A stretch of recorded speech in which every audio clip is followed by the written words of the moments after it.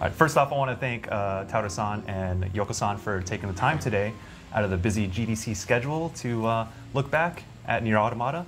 So we're playing through the amusement park sequence, and we're going to have some uh, developer commentary.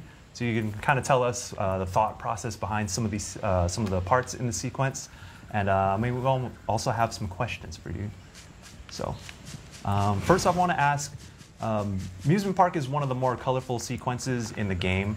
Uh, did you feel the need to kind of input something that is a little bit more colorful? Because I know the rest of the game is a little bit more um, dark. It has this tone of like the world is destroyed.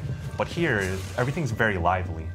この遊園地のシーンは他のまあゲームの中の他のシーンと比べるとちょっとカラフルであのちょっと明るい感じのイメージがあるんですけれどもそれはまあ全体的に暗めなゲームだからこそ必要だと感じられて入れたものなんでしょうかどうですか横尾さんあの世界にはいろんな景色があってそのバリエーション豊かなこの風景があるということでこの攻撃的な人もいれば攻撃的じゃない人もいるっていうことを描きたくてそのその中の攻撃的じゃない人っていうのの例の一つとして遊園地の人っていうのを入れてます。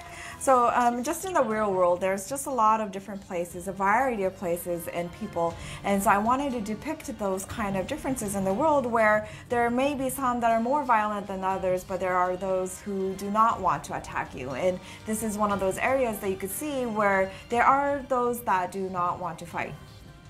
ある程度こっちから攻撃しないとやつらはあのこちらに攻撃してこないんですけれどもあの開発の序盤だとこの お供の 9S がすごい攻撃的で入った瞬間にあの遊園地のロボをみんな皆殺しにしてってあの全滅させるっていうあのバグがありました。So、um, all these、uh, machine life forms in this area, they're very um, quiet. They don't come and attack you unless you start to attack them. But in the very beginning of the game, when we were still developing, there was this bug where 9S was just so aggressive that the minute you walk into the amusement park, he would actually go ahead and kill all these machine life forms in the amusement park.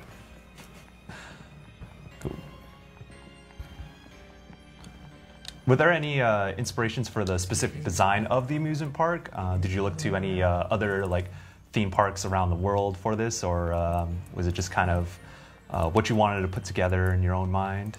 ではこの、えっと、遊園地の、えっとまあ、場所を作るにあたってあの現実世界で参考にした場所とかはありますかそれを口にするとあの日本だといろいろ法律的に問題が出るんで あの名前を出せない非常に危ない会社の危ないテーマパークを参考にしました。